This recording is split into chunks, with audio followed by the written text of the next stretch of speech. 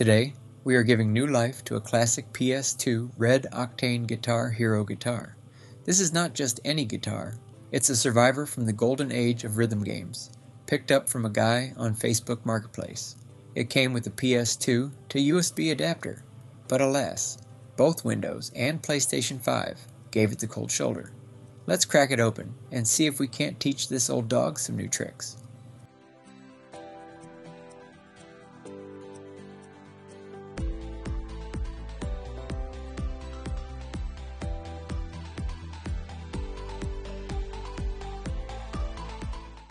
First things first, let's open this relic up.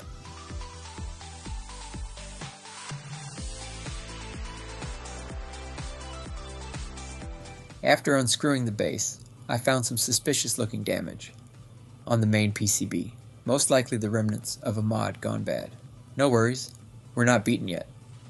I'm thinking a Pi Pico could be just the fix we need to turn this into a universal gaming axe. A good starting point is to cut the old cable that was designed to connect to the PlayStation 2. I make sure to leave enough cable to connect the PCB of the guitar to the Pi Pico instead.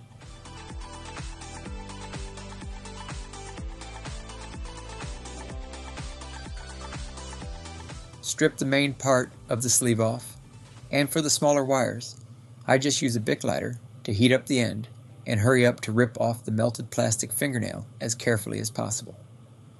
This is not the safest approach, but it is most effective if done correctly. Now, for some soldering action.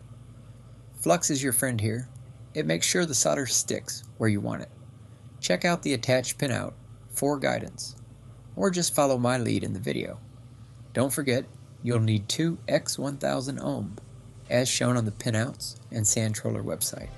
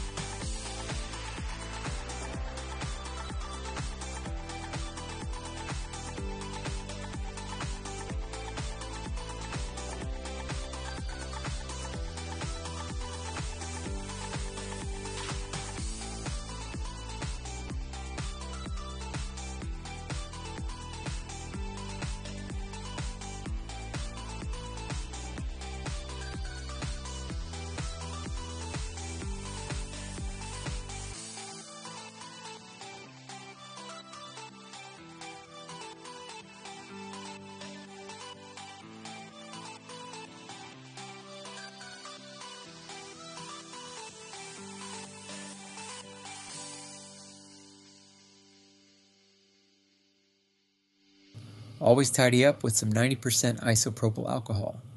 It cleans up any flux residue and ensures a solid solder joint.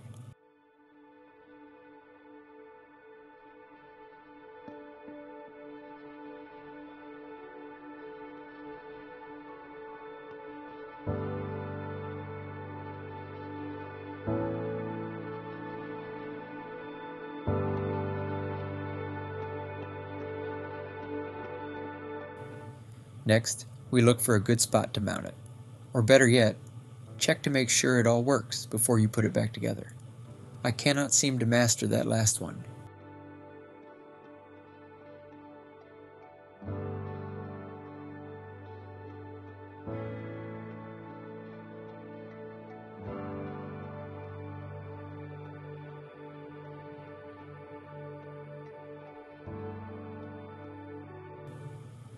If you are like me and you need to factory reset the Pi Pico, You can do this very simply by holding down the white button called the boot select while plugging the USB into the PC's USB port and then releasing the boot select. If done correctly, you should have a Windows Explorer window pop up ready to accept the new firmware. Santroller is an application that simplifies the process of mapping pins and their connections to actual functions in a video game or in a controller, for that matter. Download and run Santroller. I will select PS2 input because that's what it's trying to emulate. Keep in mind that if you have two microcontrollers, like the Pi Pico, connected at the same time after the first screen configuration, you'll need to go back to the main menu to select the appropriate microcontroller. I had to do this twice.